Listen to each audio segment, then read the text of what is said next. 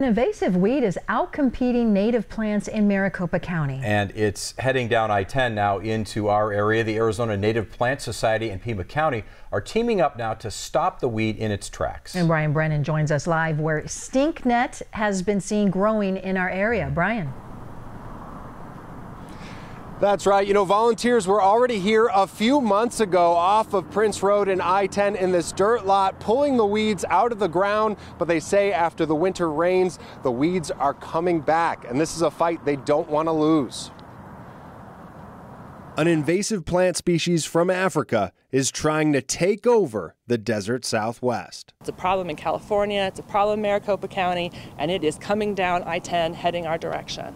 Arizona Native Plant Society manager Jesse oh. Bird says to not let the little yellow flowers fool you. This noxious weed could spell death to many of our native plants. We don't want this plant in Tucson because it will outcompete all of our native plants. It is so prolific and so vigorous that it will outcompete all of our native plants. It goes by a few names. Stinknet is the name. Oncosiphon piluliferum is its scientific name. Bird says stinknet is the most fitting name and says a little foothold has been spotted sprouting up just off I-10 near Prince. The Arizona Native Plant Society says it is hard to identify this plant when it's not blooming, but one good way to tell what it is is by the smell.